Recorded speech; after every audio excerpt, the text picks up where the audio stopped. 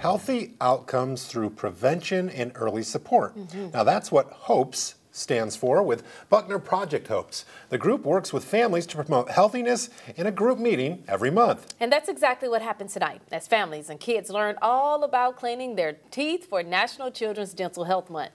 CBS 19's Peyton Weidman tells us more.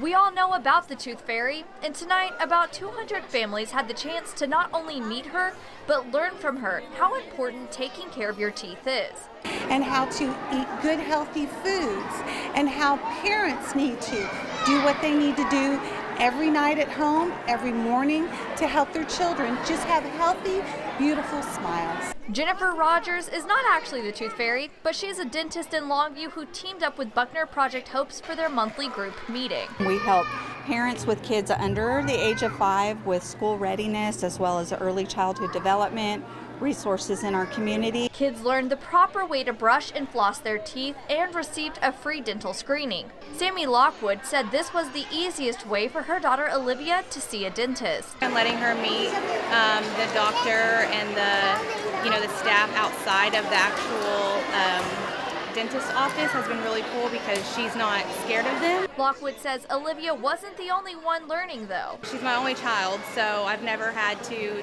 teach um, a kid before, you know, like what to eat, what not to eat, um, the brushing techniques and things like that. Lockwood says having Olivia meet the tooth fairy will be helpful. I think it'll be a good way for me to, you know, keep her brushing her teeth and in those nights that she doesn't want to, I can remind her, you know, that the tooth fairy wants uh, healthy, shiny, clean teeth. And she's got a good tip for all of us. Don't forget to brush everyone.